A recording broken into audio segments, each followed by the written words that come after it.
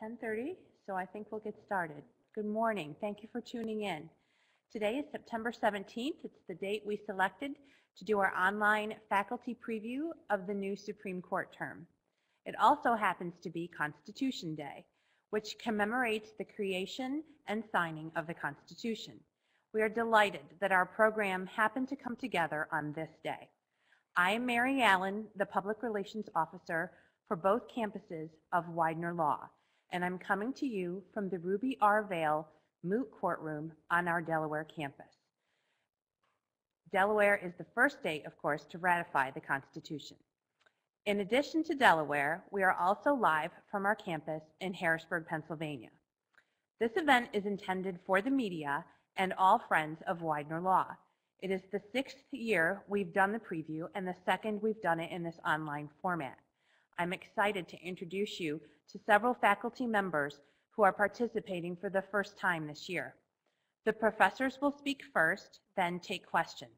This is an outstanding opportunity to ask them questions about these cases, and you may submit questions through the Q&A box on your screen. Also, you can track what's happening next with our agenda via the notes box. We'll be hearing from seven professors today who will each take about five minutes to preview their cases. We have two professors who are handling multiple cases for us, so we're going to give them a little bit extra time. But we do intend to get through this in an hour. We're also posting contact information for the professors on screen slides for those of you who'd like to know how to follow up with them. We're recording the program and it will be posted to our website soon. The school will tweet the link and post it to Facebook when it goes up. We're starting today with Professor Randy Lee, who's coming to us from Widener Law's campus in Harrisburg, Pennsylvania, and who actually has two cases for us. Both cases present interesting constitutional questions with themes of religious freedom. After Professor Lee, our cameras will turn to the Delaware campus for more presentations. Good morning, Professor Lee. Good morning, Mary. How are you doing today? Fine, thanks. I understand you're going to start today with the case of Reed v. Town of Gilbert. I am. Thank you very much.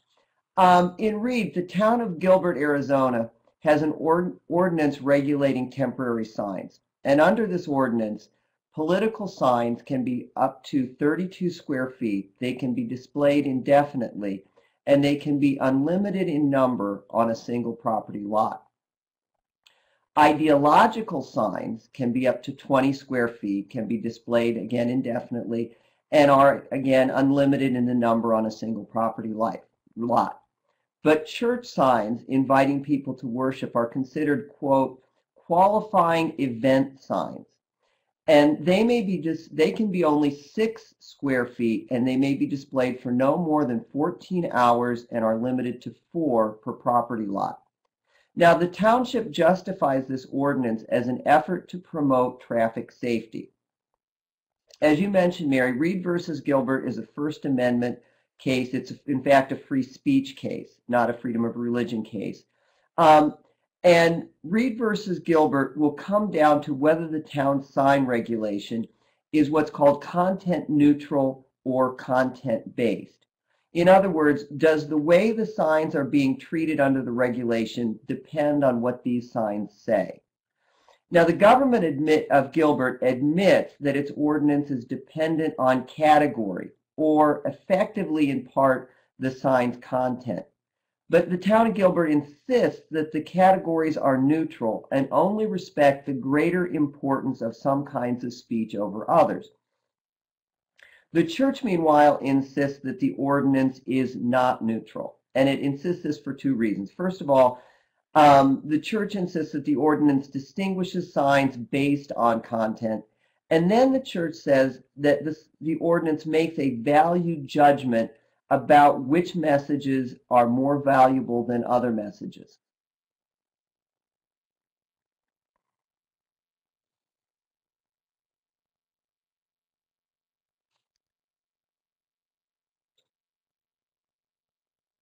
Free speech case rather than an exercise of religion case?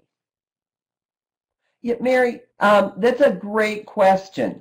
Um, And if you, you think about what's going on in the case, you can see this as the ordinance restricting the right of, of religion in the sense of restricting a church's ability to attempt to evangelize. Um, the reason that it's it's a free speech case rather than a, a, free exercise of religion case really I think comes down to a Supreme Court case from 1990, Employment Division versus Smith. And in Employment Division versus Smith, the United States Supreme Court was seen as restricting the extent that the freedom of ex- the freedom to exercise one's religion was protected under the Constitution. And because of this lessening of uh, free exercise of religion protection, a lot of the cases that would have traditionally been free exercise religion cases got shifted over by lawyers to be free speech cases. Okay. So you have a second case for us today, I understand, and that is Holt. I do. What can you tell us about that? Um, Holt versus Hobbs, I think, is the second case. And in this case, which is a case to be argued October 7th, um, an Arkansas prison regulation allows prisoners to grow a quarter inch beard um, for dermatological reasons. But the regulation would prohibit Gregory Holt or Abdul Malik Mohammed from growing a half inch beard in response to the tenets of his, of his faith. And a half inch is about the diameter of a dime. Now, Arkansas insists that this regulation is necessary for three reasons. First, it prevents inmates from hiding contraband like drugs, needles, or razor blades in their beards. Second, it prevents inmates who escape from prison from altering their appearance by shaving their beard. And finally, it protects prison staff from being cut on sharp objects while searching a beard. Now, Mr. Holt is not challenging um, the prison regulation under the Constitution's free exercise of religion clause, but instead is challenging the regulation under a statute called RLUIPA, or the Religious Land Use and Institutionalized Person Act. And RLUIPA requires that when the government imposes a substantial burden on an inmate's religious practice, it must show that it has a compelling government interest for doing so, and its regulation represents the least restrictive means of furthering that interest. Um, when Arkansas was defending this um, regulation, um, Arkansas could not provide a single example of anyone being hurt by contraband hidden in a beard. In addition to that, 40 states and the federal government's Department of Corrections allow such beards as the one um, that Mr. Holt wants to have.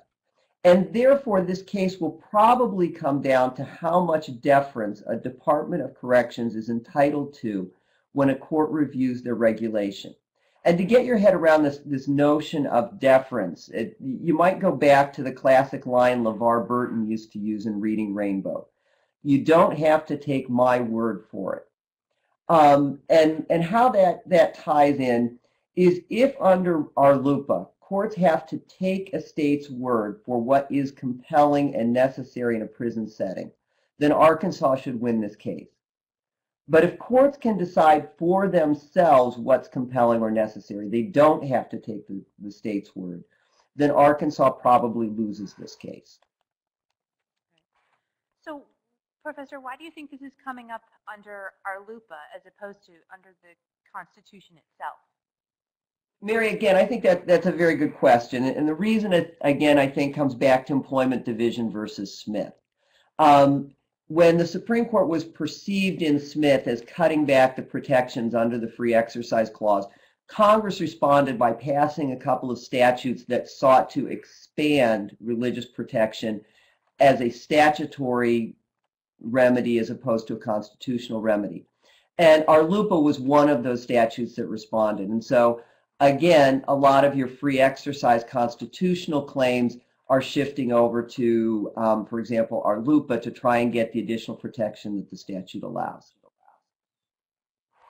So do you think there'll be any other religious cases accepted this term, or are these I mean, are these the only ones, or what do you? Um, I think there's a, there's at least two other areas where we could see um, the Supreme Court facing a, a a free exercise of religion kind of an issue. Um, one is, I think, if you remember from the last term, we had the HHS um, contraception abortifacient um, health insurance mandates regulations come up. Those were the Hobby Lobby Conestoga um, wood regulations. Um, I think a challenge to those regulations could appear again this term as applied to a different kind of organization, for example, a nonprofit or, or some kind of a religious ministry organization. Um, it's also possible that we haven't seen the last of Hobby Lobby and Conestoga Woods, and in some form, those cases might find their way back up to the Supreme Court. Another case that, that I've been watching for a while that might finally have its, its day in the Supreme Court um, is a case called Bronx Household of Faith versus the Board of Education for the City of New York. And that case comes out of a policy by the Board of Education for the City of New York that the board will rent public school space during non-school hours for practically any purpose except for church worship services. And in fact, as the Second Circuit explains it, quote, schools are freely available for use by groups to express religious devotion through prayer, singing of hymns, preaching and teaching of scripture or doctrine, it is only the performance of a worship service that is excluded. Thus, the Board of Education will rent their schools to a church to pray, preach, and sing praise in so long as the church promises not to actually worship. Now, for fans of the Dickens novel Bleak House, Bronx Household is kind of a Jarndyce versus Jarndyce kind of case. It has just gone on and on and on for 20 years but it's possible this term it could reach the Supreme Court as either a free exercise um, of religion or a free speech kind of case. Okay. Well, thank you very much for that roundup of cases. And also Mary, thank you so much for having us and including us, and thank you especially for organizing this on such a significant day. um, a testament of what a hardworking professor you are. You're now off to teach class. So have a good class. I am. Thank you. And now our cameras will turn back to the Delaware campus and we'll talk with some faculty here, beginning with Professor Jim May, who is sitting next to me. Professor May has a book coming out later this year about global environmental constitutionalism, but today he's got his eye on a case that involves social media with interesting free speech implications. And the, uh, the case title is Elonis versus United States. So Professor May, you want to take it away and tell us about that case? Yes, uh, thank you, Mary, and good morning, everyone, and happy Constitution Day. Um, the case that I'm going to talk about is about Facebook and the First Amendment. Uh, it's called Elonis versus the United States. And in this case, the Supreme Court has to consider whether and the extent to which intent and perception matter in making threats online. I will cover background, legal issues, some implications, and what happens next. Now, at bottom, the case concerns the important First Amendment question as to whether it's the subjective intent of the speaker that matters, or whether what matters is the objective um, perception of the, uh, the person who receives a message. Starting with first principles, the First Amendment says that Congress shall not abridge the freedom of speech, but it hardly plays out the way it reads. The First Amendment does not protect all speech. There are exceptions for libel, incitement to violence, obscenity, and fighting words, and one for something known as true threats, which is the issue in Mr. Elonis' case. Let me tell you about him. Anthony Elonis was a 26-year-old who lived with his wife and two small children in Allentown, Pennsylvania, and worked at nearby Dorney Amusement and Water Park. He had a single Facebook page under the pseudonym Dom de Rap of Tone Dougie. Tone Dougie had few Facebook friends.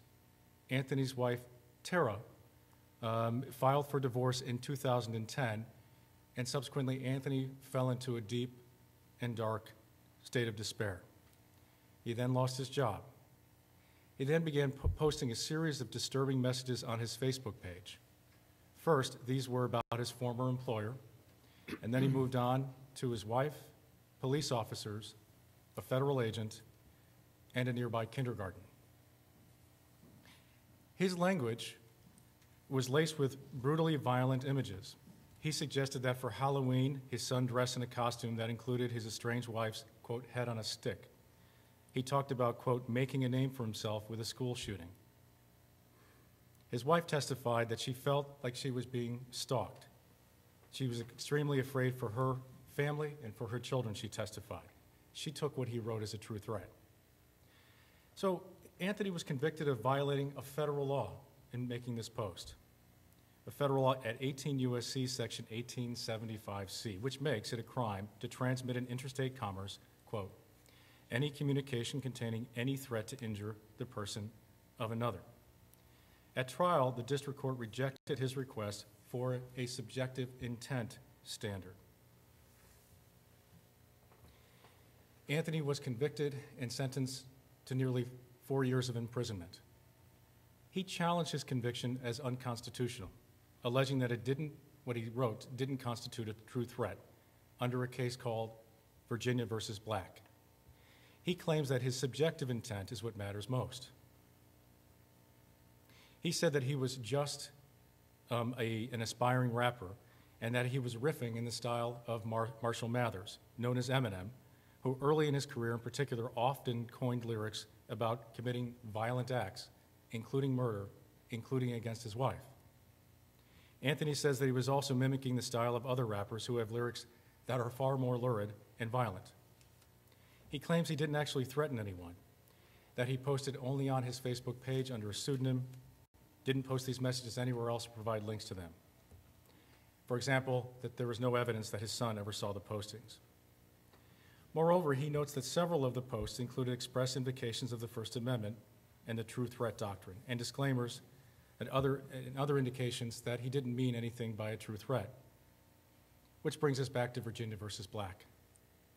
In that case, in upholding a state statute, the Supreme Court held that the First Amendment does not protect cross burning by those who know or have reason to know that their actions will intimidate. So Anthony interprets that as requiring a focus on subjective intent. Anthony is supported by several First Amendment groups. The government argues that a reasonable reader standard instead should apply. This case has wide implications. It is one of many recent prosecutions for alleged threats conveyed on new media, including Facebook, YouTube, Twitter, and Snapchat. So it is content or context that matters, is the question. Context can be harder to gauge online than in person. In this case, requires the justices to confront a new technology and assess the meaning of the First Amendment in the age of the emoticon. Oral arguments will occur this fall. Thank you. In the age of the emoticon. I like that. All right, I'm so sorry I've got a couple interrupt, Mary. questions for you. Can we take one? We appreciate patience of everyone watching today while we worked our way through that audio glitch. Professor May, thank you for your patience as well. I have a couple questions. Um, I wondered first, could a ruling that upholds an objective standard potentially subject anyone from demonstrative news anchors to hip hop artists from federal criminal charges? Uh, Terrific question. Thank you, Mary. Uh, Yes, potentially this federal law could criminalize uh, statements that are made that are not intended as true threats, that are taken as true threat- threats. Let me give you an example of, of a very simple one that came up this morning in my household. Um, Just on my way here, my wife texted me a message saying, break a leg. Uh, So to her, naturally, I mean, that's, her subjective intent is not to threaten me in any way. Of course, it's to encourage me. It's a common expression used, say, by those who uh, appear with performing arts. Uh, But if she had sent it accidentally to someone else, uh, they might have viewed it as being a true threat. And under federal law, uh, she would be subject to criminal prosecution um, for that. So that's the bottom line here is, does it matter how she intended the message or does it matter how somebody might perceive it? I, I want to uh, invite everyone watching to feel free to submit questions through the Q and A box. And I've got one coming in here. Would a ruling that upholds a subjective standard just encourage online bullying and bad behavior? Um, Right, that's the other side of the coin. It certainly could. Uh, If, if, uh, uh, if people can say, because one, one can always say that they didn't intend to threaten anybody and say the most heinous, worst possible things. So yes, it could encourage uh, that kind of bad behavior. So the bottom line question is whether there's ample room in the First Amendment um, to protect just that sort of behavior, Mary. Thank you. All right, Professor May, thanks for being with us this morning. And now we're going to turn our attention to Professor Len Sosnov. And for alumni and students and members of the media who've interviewed Professor Sosnov before who are tuning in, you might be surprised to learn he's actually discussing a civil case this morning. Um, But juries and jury selection are at the heart of the case. So it has implications in the criminal arena as well. And we know, of course, he teaches criminal law and procedure here at Widener Law Delaware. So Professor Sosnov, you took a look at uh, Warger v. Showers, and I was hoping you could fill us in on what you found. Thank you. Uh, This case begins on a uh, highway in South Dakota.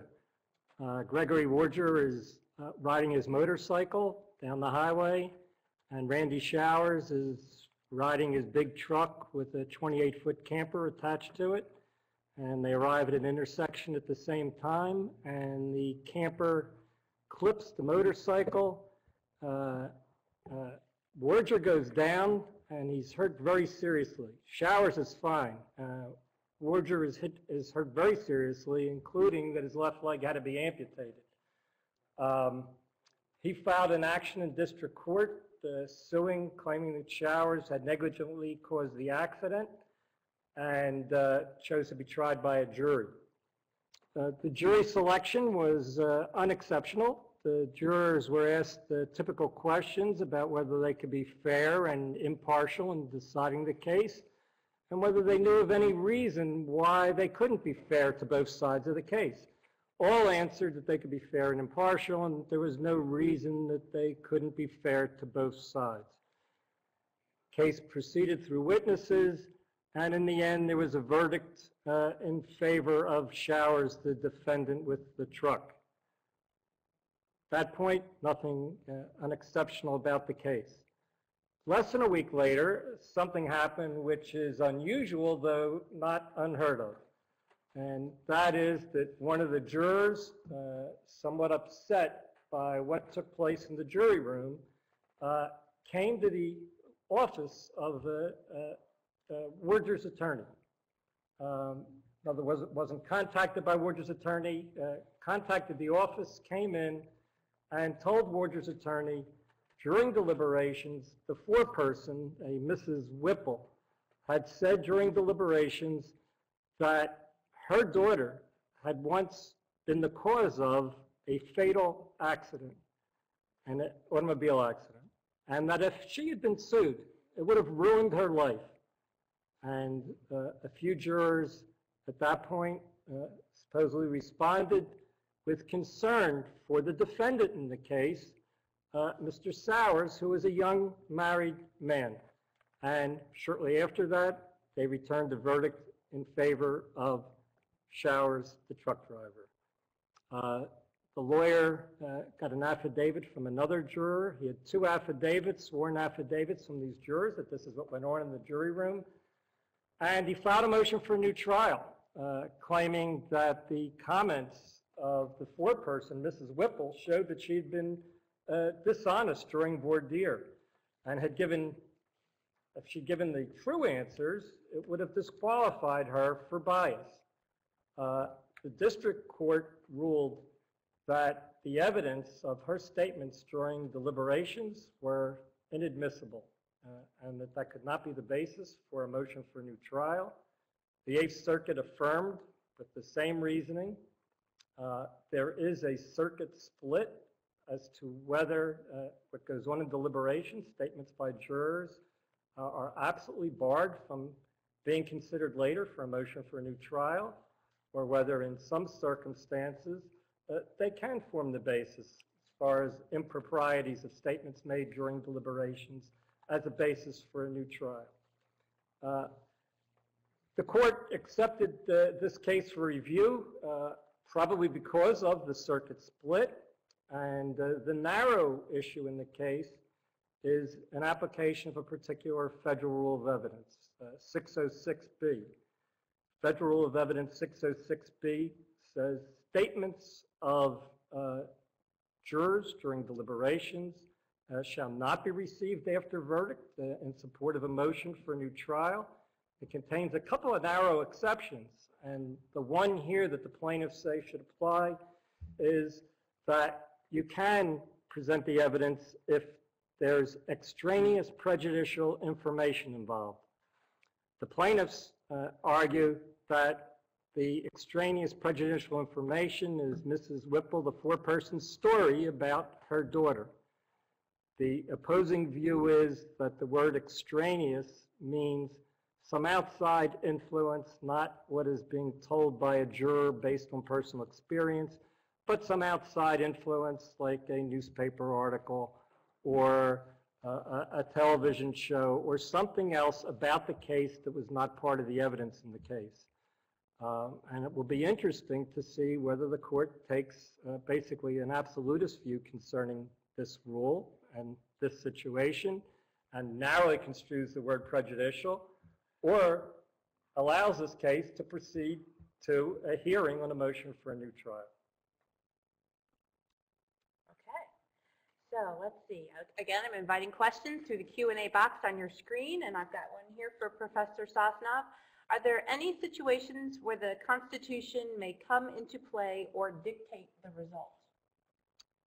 I think that that is uh, possible, that uh, even if the, uh, the defense prevails here, and that under the rule, this is not considered to be extraneous prejudicial information, uh, I would hope personally, and there is support in language in some lower court opinions, that if, for example, you had a situation where what was shown was that during deliberations, jurors were making racially prejudiced remarks, for example. Like, we know how black people are, so this defendant is probably guilty because these young black guys, they go around robbing people, so he's probably guilty. Remarks like that. And I'm not making up those kind of remarks. There's cases where they've, it's been shown they actually were made during deliberations. You would hope there that at least uh, the Constitution would step in, either an equal protection or due process grounds, to say that in that situation, the verdict, there has to be a hearing as to whether this information, as to whether these statements were made, and that there should be a new trial if there's showing of racial discrimination or ethnic discrimination during deliber- deliberations. So what do you think is going to happen here? I think most likely the court will interpret it narrowly and the defense will win as far as the rule's concerned because I think the court's going to be reluctant. Of course, what do I know? It's just a guess. But I would say that uh, the court's probably going to interpret it narrowly to be only outside influences like newspaper reports and television about the case because they're going to view it as a slippery slope as to considering uh, various statements that people make during deliberations, that, that, that in general they're going to want to preserve the, the secrecy of deliberations and not open up what they might fear is a Pandora's box of motions based on what jurors say during discourse uh, involving uh, a decision on a, on a verdict. So that's my best guess, particularly since there's a prior case uh, which had a different issue, but the court uh, ruled in favor of not allowing a hearing on a new trial, where it was shown that jurors were partying throughout the trial very heavily. Uh, a number of them were drunk. A number of them were high on marijuana. At least one was high on cocaine. And all this, the United States Supreme Court ruled, could not be the subject of a post-verdict hearing to get a new trial. Fascinating. Thank you. We appreciate your contribution. You're welcome. All right. Next up, we have Professor John Culhane. He is back to discuss gay marriage with us today, and this has gotten so much attention nationally, we really felt it should be on the agenda. Um, Professor Culhane has done an incredible amount of writing and commenting on this topic, given his expertise in the legal rights of same-sex couples. So I'm hoping you can fill us in a little bit on what's going on in the circuits, and do you see this issue possibly coming back before the court this term?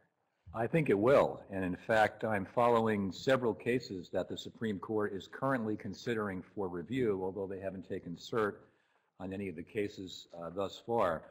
All of the cases involve the issue of marriage equality for gay and lesbian couples, and the cases are conferenced, the cases I will be discussing are conferenced for the 29th of September, and it's possible we could know that very same day which, if any, of, the, of these cases the court will take for uh, cert. So I want to spend some time putting the cases in context. How did we get to this point? Then I want to talk a little bit about the cases themselves and then explain why this issue still matters for local media, given that all of the nearby states uh, uh, recognize marriage equality already. I still think this is important. So first, the context. In June of last year, the Supreme Court decided United States against Windsor. And in that case, the court threw out a provision of the Defense of Marriage Act which was a federal law that said even if a couple was validly married in their home state, their marriages would not be recognized under federal law. And in a five to four decision, the court declared this provision unconstitutional. Unfortunately, the court's reasoning in, in reaching its holding was a little bit unclear, and that lack of clarity could be important as we move forward. So in the first half of the Windsor decision, the court really spent some time digging into how odd it was for Congress to be mucking around in marriage law, right? Passing a law that decides that marriage doesn't count for federal purposes, even if it counts for state purposes. Uh, and that that was historically a matter for the states. So it seemed like the court was moving toward declaring that the Defense of Marriage Act violated principles of federalism, which basically say, you know, Congress has a limited grant of authority and it doesn't include uh, mucking around in marriage. But then all of a sudden, about halfway through the opinion, the court uh, pivoted and said that the reason that this mucking around in state law violated the Constitution was not because of federalism, but because such an odd incursion into what's usually a state prerogative, who gets to be married, was really a sign that the law was passed out of ill will, what the court calls animus toward gay and lesbian couples. And once the court found that the animus was re the real reason for the law, it was kind of a short step uh, to finding that Congress had really been acting to strip same-sex couples and their children of dignity and uh, equality, and that therefore the Defense of Marriage Act violated the liberty interests that the Constitution protects under the Fifth Amendment. Uh, before the ink was dry on Windsor, I know that's a cliche, but it's almost literally true in this case. Within weeks, there were a flurry of lawsuits filed seeking declarations that state laws prohibiting same-sex couples from marrying were unconstitutional. And these suits uh, pitted really two possible readings of Windsor against each other. So the first is that the uh, a constitutional problem was with Congress passing such a law. Uh, and the second one uh, is that the case is really about dignity and equality. And therefore, it really doesn't matter that it was Congress doing the deprivation, that a, a state law uh, doing the same thing would also be unconstitutional. Uh, so within a short time, there were lawsuits filed in every single state and Puerto Rico that still have anti-gay marriage laws on their books. And so far, the big winner in terms of this battle of interpretation has been the second interpretation, that the case really is about dignity and equality. There have been 39 wins for the couples challenging these suits and only two losses. In other words, almost all of the judges have found that the second reading of Windsor, that the case is really about dignity and equality, has been uh, more compelling. And so far, the case has gotten uh, decisions by three federal appellate courts, and all three of these have found that the marriage bans violate the Constitution. So there are cases from the Fourth Circuit, which is Virginia, two from the Seventh Circuit, Indiana and Wisconsin, and two from the Tenth Circuit. And a bunch from other circuit courts are working their way up. But these three provide plenty of material for the court. So the Fourth Circuit case is Rainey against Bostic, that involves a very broad Virginia law that bans not just same-sex marriage, but even civil unions and certain kinds of contractual agreements. The Seventh Circuit case was written by a very influential judge, Richard Posner, who emphasized the, uh, the equality issues. And the Tenth Circuit case, I think, might appeal to the Supreme Court. It was a two-to-one split, uh, and there was a spirited discussion about uh, what the court had decided in Windsor with the dissenting judge really thinking that the case was mostly about the power of uh, Congress having been exceeded. Uh, so the court is going to probably take one of these cases And in so doing, it's also going to likely resolve the question, how broad is the right to marry? Is it fundamental to same-sex couples as well as to opposite-sex couples, uh, uh, or is it defined more narrowly? Uh, What's at stake locally? Uh, The whole Northeast at this point has uh, marriage equality, and there's no pending litigation, but local media covering Pennsylvania should keep an eye on the SCOTUS case anyway, not just because it has national significance, but more that a lower court in, I think, April of this year found that the Pennsylvania gay marriage ban was unconstitutional, and the Corbett administration uh, decided not to appeal, but that law is still on the books. So if the Supreme Court were to take one of these cases and decide that these marriage bans uh, were in fact constitutional, then the Pennsylvania law would be reanimated, and that would cause uh, lots of confusion. If this law is raised from the dead, uh, there would be confusion about the rights of married same-sex couples in Pennsylvania. All right, thank you. Sure. Professor, I'm, I'm curious, what, what do you think the likelihood is that the Supreme Court will answer the question about gay marriage this term? Uh, I would say somewhere in the neighborhood of 100%. I think uh, we're going to have a couple of more decisions from circuit courts very soon.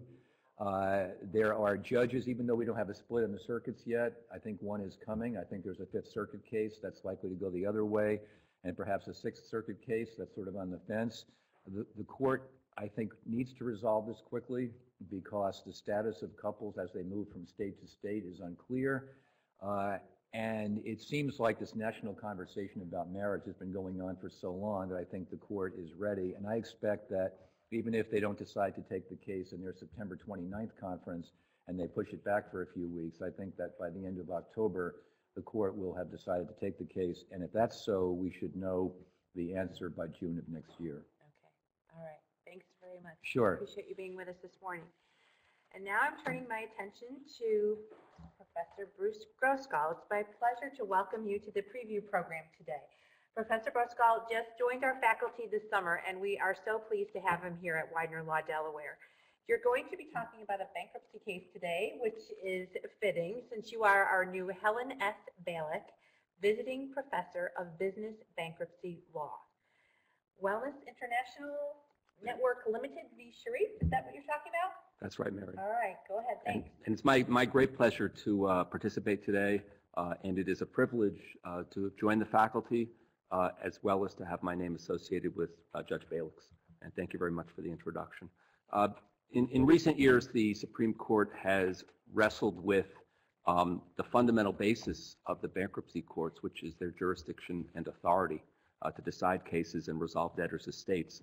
Uh, In Wellness International versus Sharif, uh, the Supreme Court uh, certified two questions for its consideration, and each of these go to the heart of the jurisdiction and the authority of the bankruptcy judges to decide bankruptcy cases and resolve debtors' estates.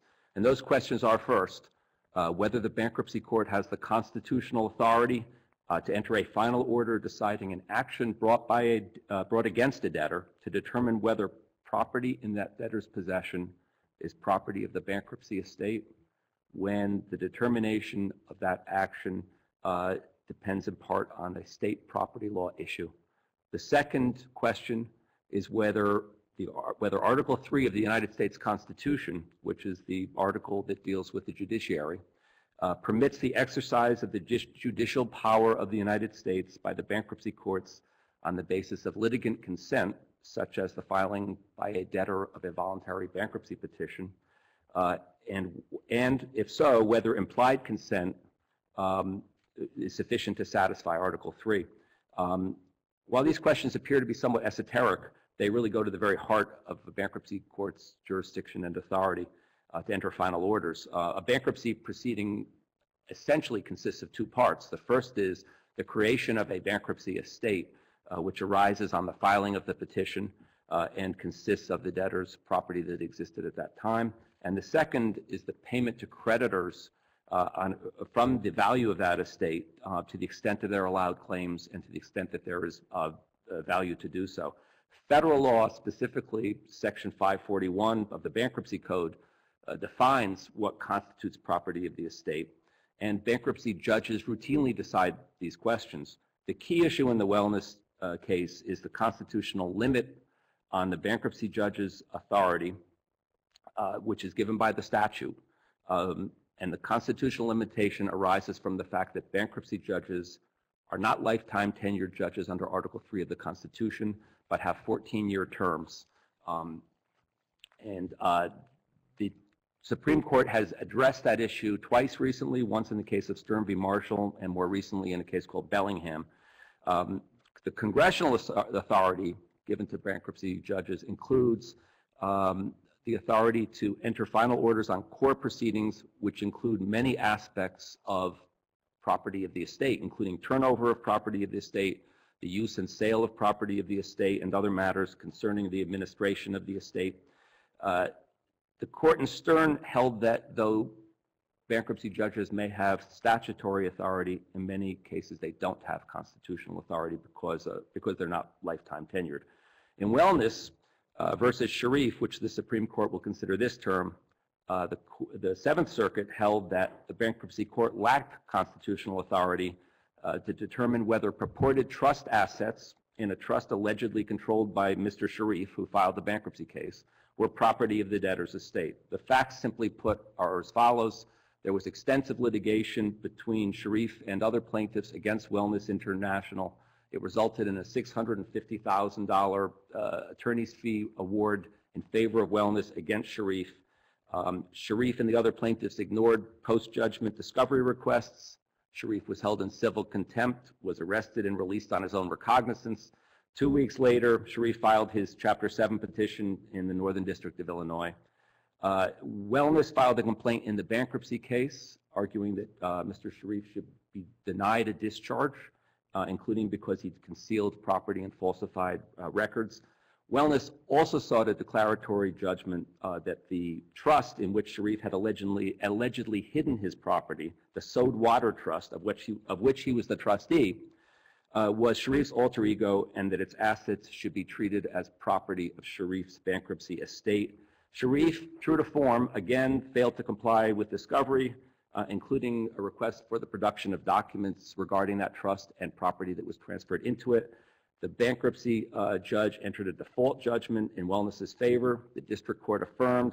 On appeal, the Seventh Circuit disagreed, holding that Sharif, that the, that Sharif's argument that under Stern, the bankruptcy court lacked constitutional uh, authority uh, was, uh, was the right answer. Um, The Seventh, the Seventh Circuit determined that the alter ego claim was a state law claim between private parties, uh, wholly independent of federal bankruptcy law.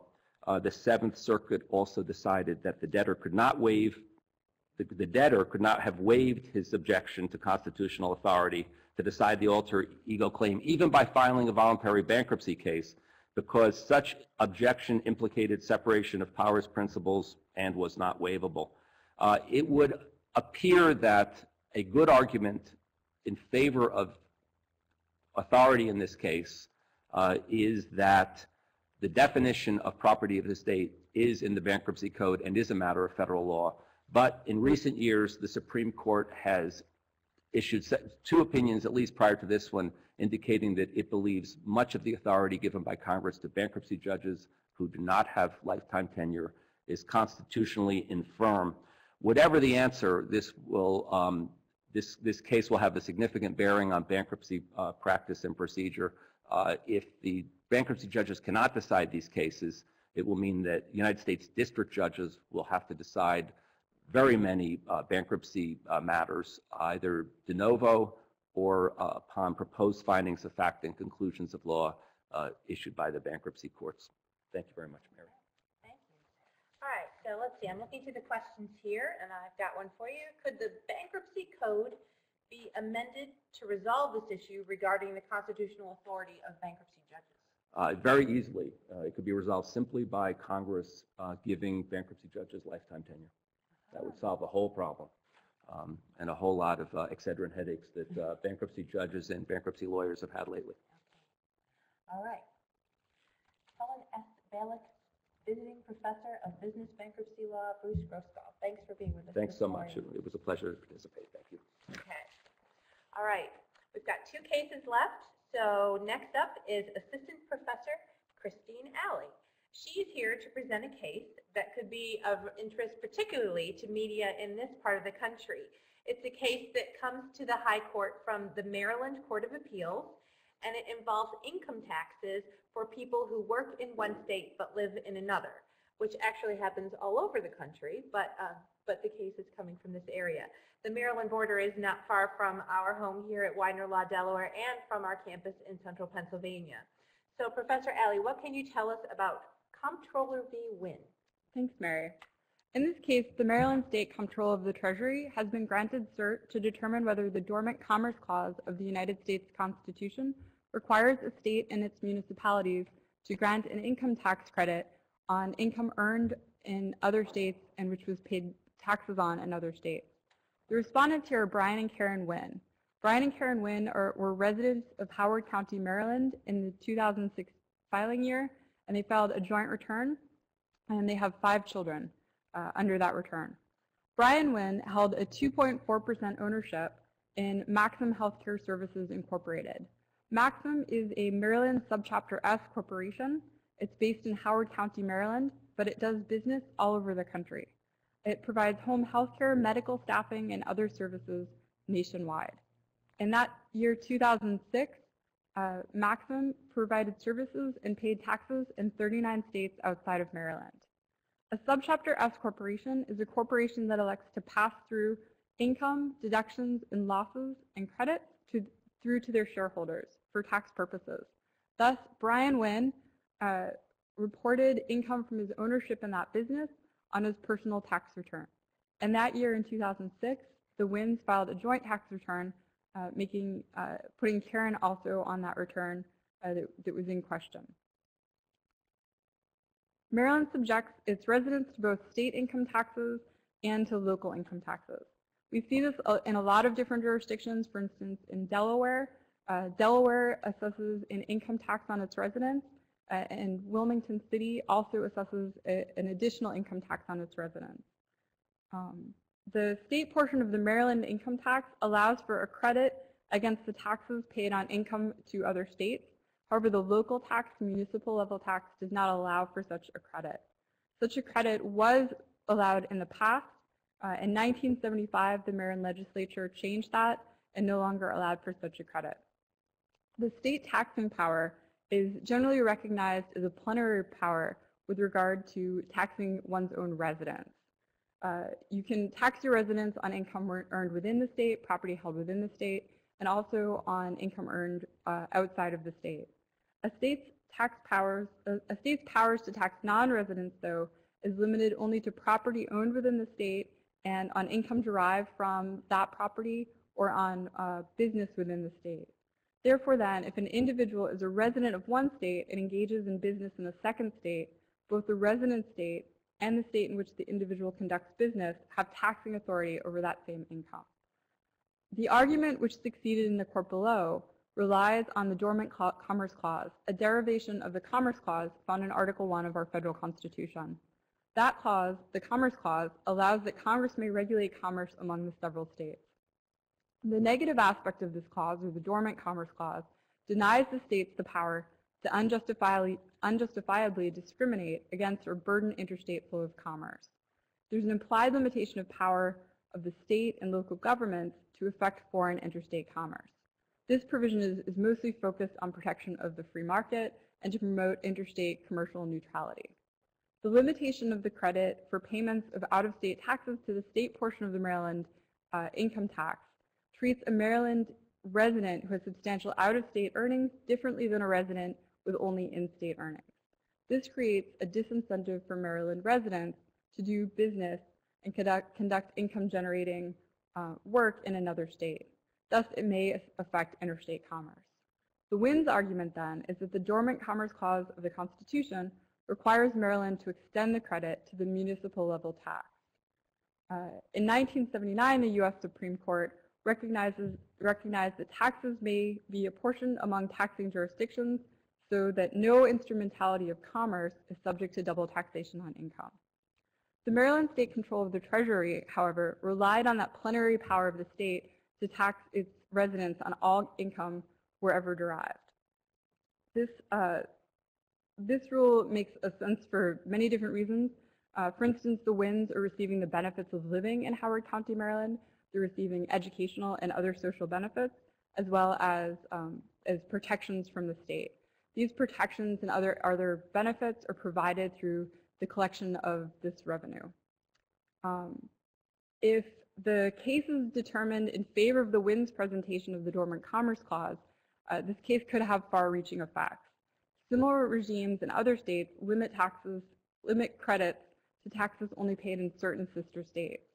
Additionally, Indiana, Ohio, and Pennsylvania have similar uh, provisions to the Maryland tax on municipal taxes.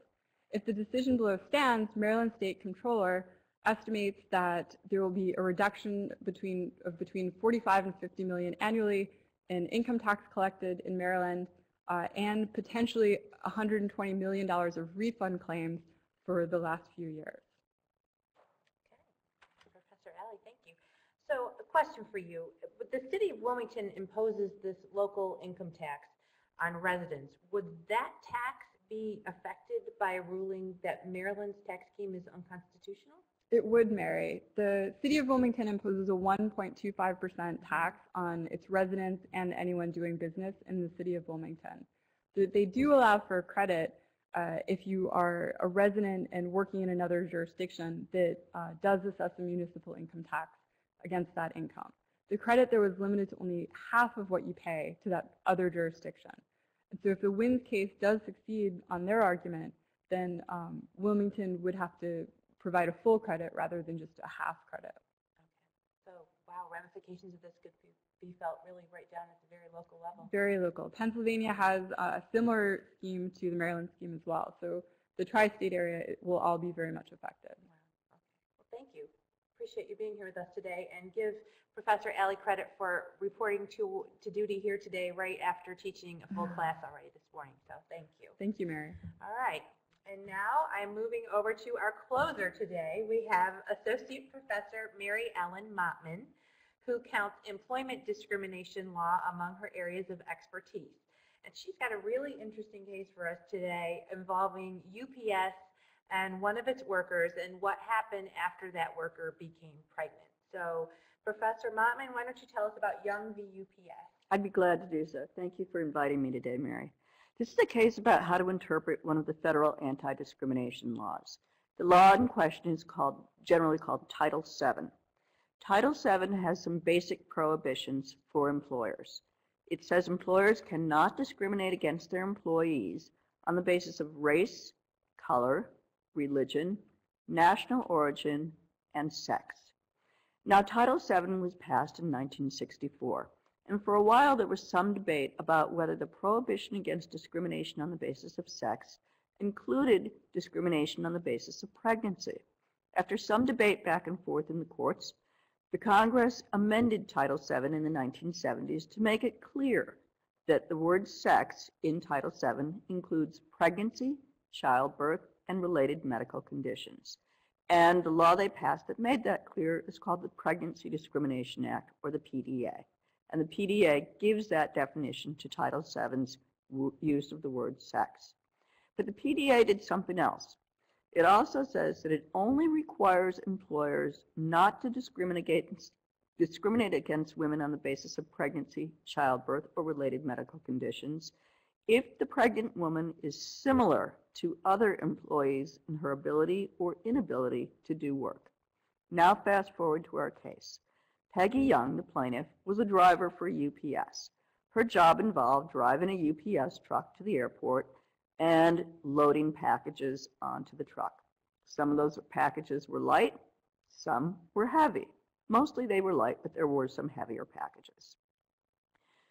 As she worked for UPS, Ms. Young sought to become pregnant and did succeed in that and told her employer she was pregnant and had a doctor's note saying that she could only engage in light duty. Specifically, her do doctor did not want her lifting anything greater than 20 pounds.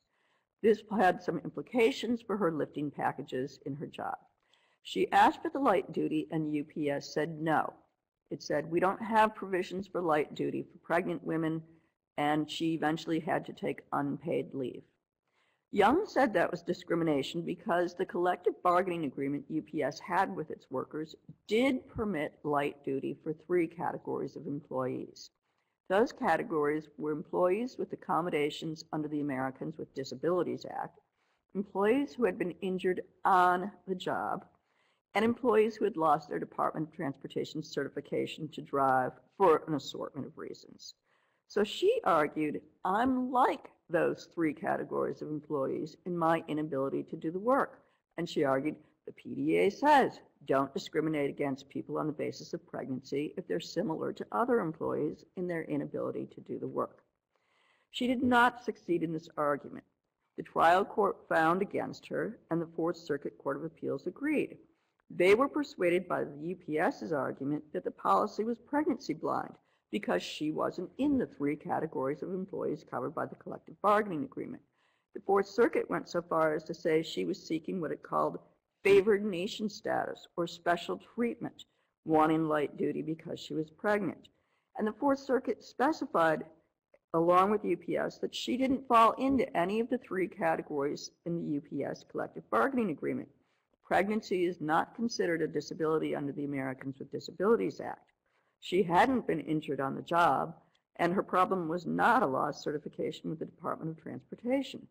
Therefore, looking at the case this way, she compared to employees who had been injured off the job. And under UPS's collective bargaining agreement, those employees were not eligible for light duty. The Supreme Court's going to hear the case in December. We only have Ms. Young's brief so far. The brief makes a straightforward argument that UPS's policy is facially discriminatory. On its face, treats her differently from the three categories of employees who are covered by the collective bargaining agreement. The strategy is to use a very straightforward statutory reading. And that might appeal to the court because the court likes to use straightforward statutory readings with Title VII.